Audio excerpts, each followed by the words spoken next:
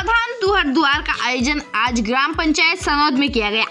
देखते रहिए UVN zero eight news Chhattisgarh से रमेश कुमार चेलक की रिपोर्ट। यह समाचार बालोद ज़िले के अंतर्गत आने वाले गुरुर विकास खंड ज़िले की ग्राम पंचायत सनौद का है, जहाँ पर समाधान तुहर द्वार में ग्रामीणों ने बढ़ चढ़कर हिस्सा लिया और अपनी समस्या अधिकारियों को आवेदन के माध्यम से दी, क्योंकि यह समस्या तुम्हारे द्वार में सभी विभाग के अधिकारी मौजूद रहकर लोगों की समस्याओं का निपटारा करने का प्रयास करते हैं, जिससे लोगों में अति खुशी ज़ाहिर कर रहे हैं, क्योंकि इस योजना से लोग डायरेक्ट अधिकारियों के हाथ में अपना आवेदन सौंप रहे हैं। इस शिविर में मुख्य रूप से उपस्थित रहे गाँव के प्रथम मुखिया अमृता आशीष साहू, सरपंच ग्राम पंचायत सनोद, सचिव योगेश पांडे पटवारी, रमशीला ठाकुर, हमारे क्षेत्र के SDM CO Rajendra Kumar Patoli nodal अधिकारी हरिशंकर साहू, कृषि विभाग से कुलदीप देवांगन। इसी प्रकार से सभी विभाग के अधिकारी एवं कर्मचारी उपस्थित होकर लोगों की समस्याओं को सुन रहे हैं। इस शिविर में लगभग 190 आवेदन